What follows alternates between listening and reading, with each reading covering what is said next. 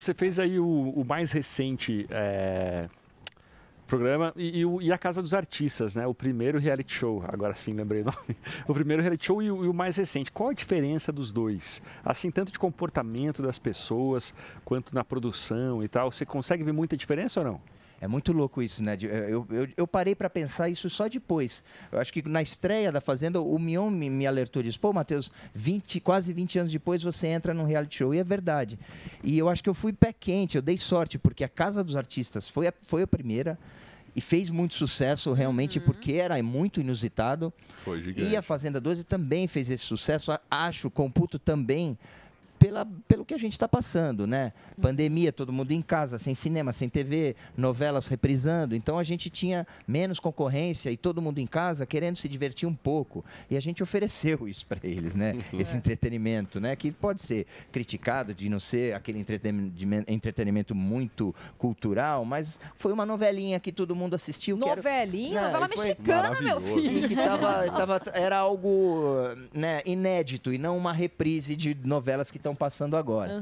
É. Então, Olha aí a Casa dos Artistas. É. que memória você Olha tem dessa loucura. sessão? Isso uma loucura. Quais são as memórias aí? Não, então, Essa é loucura. muito louco, assim, lembrando, assim, porque a gente acaba esquecendo, né? Mas a própria presença do Silvio Santos dentro da É. casa foi muito louco. Teve um dia que ele entrou na casa, ele morava do lado. o Silvio Santos alugou, assim, a primeira casa é totalmente diferente do que, do que é Big Brother ou do que é a Fazenda.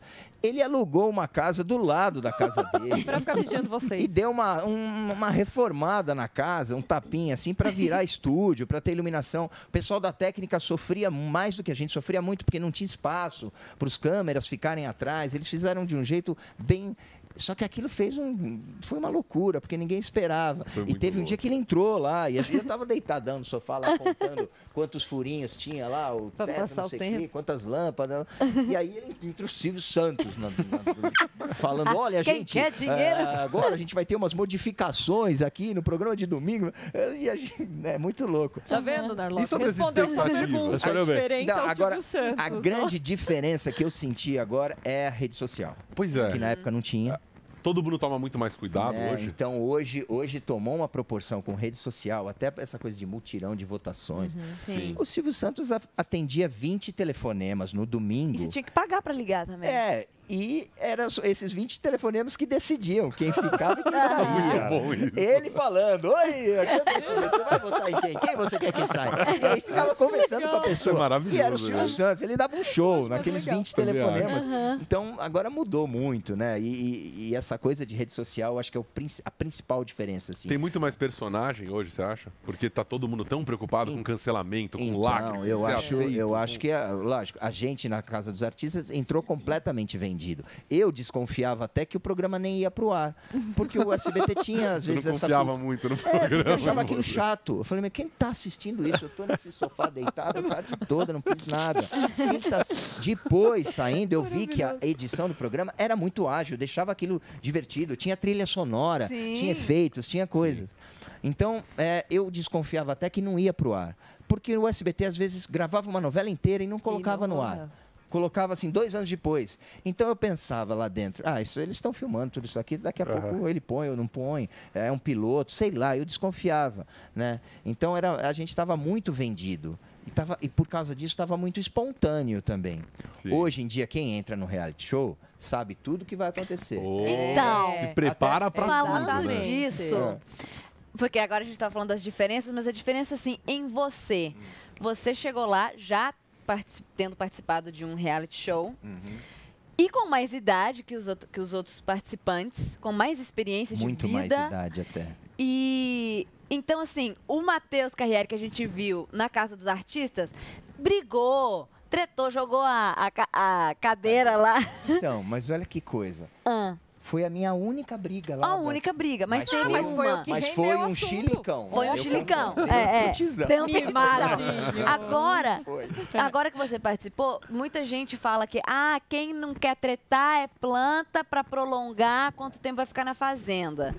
Como que você vê isso? Você entrou já pensando, gente, não vou querer encrenca com ninguém, não vou tretar, ou você é assim mesmo? Posso responder? Deixa eu responder. deixa eu responder antes, Ai, rapidinho. vai. Vou responder. Como é que você pode responder a pergunta pro Matheus? É a menor condição. É testosterona, velho. Ontem ele fez pode É testosterona. pergunta feita pro O Matheus. cara, a testosterona Não, baixa, a testosterona baixa, o cara vai ficando Ele bonzinho. tá Ah, ele, entendi. Ele quer entrar em outro assunto. ele tá quase me acusou de estar com a testosterona. Mas você falou. Pô, então eu vou Você mostrar falou. agora aqui. Não. Matheus, você falou. Então, Vai ter que é, retirar isso Não, agora. isso que você falou, é- é- é- essa pergunta é muito legal, porque assim, na, na Casa dos Artistas, eu entrei para participar e para ver o que era. Não, não tinha pretensão de ganhar, ia, tava feliz com o cachê, já tava achando que tava tudo bem. Preferia ter feito a novela A Pícara Sonhadora, que estava estreando no SBT. Qual o mas nome da novela? A Pícara Sonhadora. Ah, beleza. Só pra A pícara. confirmar. É a da novela. Pícara Sonhadora. Sim. É, Pícara Os sonhadora. títulos de novela do SBT não Maravilhoso. né? Com certeza foi o Silvio que fez. A Pícara Sonhadora e a Usurpadora foram os melhores títulos de novela, Usurpadora. imbatíveis, Eu era né? fã do usurpador. Então, imbatível esse Nossa, título. nossa. Aí, eh, eu preferia ter feito a novela, mas en- entrei lá e despretensiosamente, não era tão tanto tempo também, foram, eu fiquei sete semanas, quase o final Quase do programa meses, né? foi... Então, eu estava assim, mais despretensioso. Na Fazenda eu entrei querendo ganhar. Eu pensei em ganhar, né?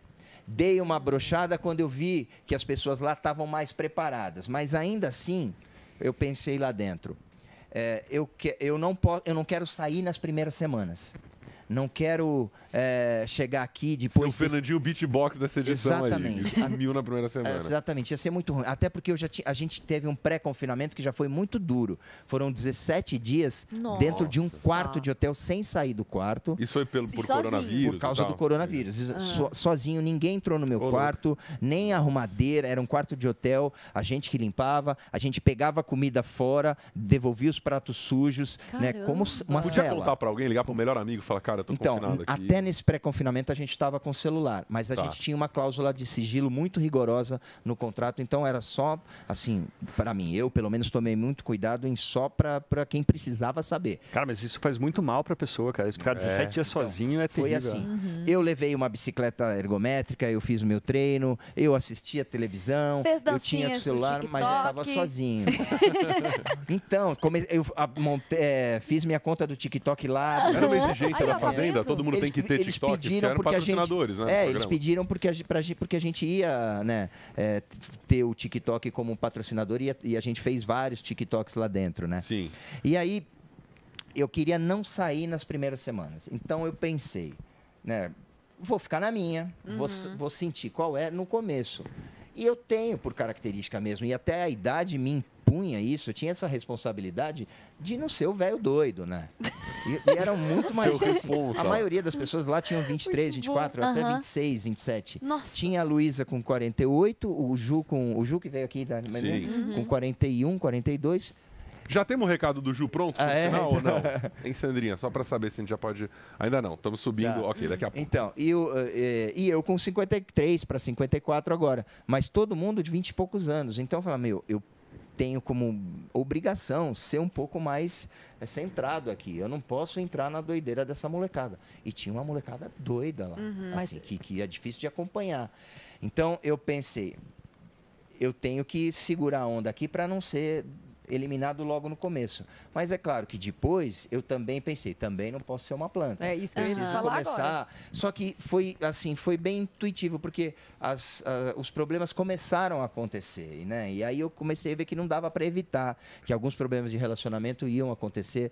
Lá todo dia tem alguma coisa que te impõe alguma discórdia. O jogo é feito não isso. é só no dia da votação. Todo dia tem alguma dinâmica ou alguma coisa que te faça A cozinha, né? Muita gente falava da do briga da então, cozinha. isso é a convivência, que já é difícil. Mas aí tem uma prova que vai dar 50 mil reais de prêmios. Aí tem uma urna lá que você é sorteado, aí você tem que vetar alguém de participar dessa prova. Nossa, Aí pronto, já virou inimigo. gera Já virou ódio. você vai, pô, por que você vai vetar de, de tentar ganhar 50 mil reais de prêmio? Aí você veta alguém, aí a pessoa, por que, que você me vetou e não vetou ela? Por quê? O que, que eu fiz pra você? Aí começa. E é todo dia alguma coisinha assim.